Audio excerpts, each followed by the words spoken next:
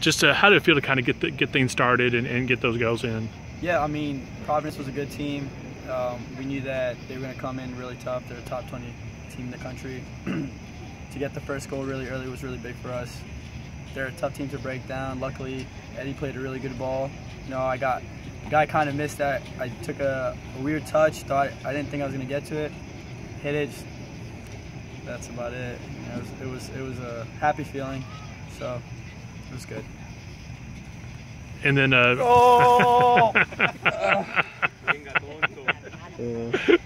what was it? What was it like for you and your teammates to, to come back quick and, and play Friday and, and come out this second, you know, on a Sunday and, and face a top 15 team like Providence? it's tough, you know. Every game, we knew Rutgers was going to be tough on us, and then playing a game the day after with like a team Providence is going to be so tough on us.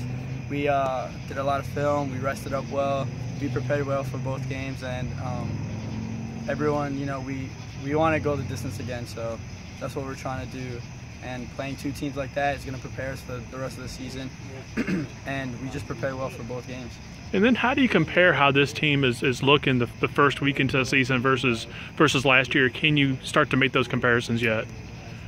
It's a it's a it's a different team. You know, we have a lot of freshmen who help out so much. We have Brandon, Omir, Machop, Justin. All the freshmen are really good. So we are scoring more goals than we did last year in the beginning, which is awesome. But it's a different team. You know, we're we're happy with what we got now, and hopefully this team can make some history as well. What do you think was the the key points that gave Wake Forest the win today?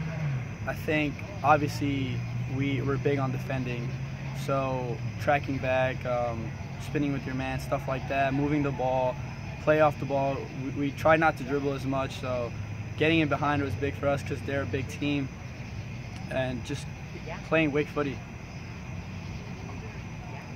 Good. Good. Right.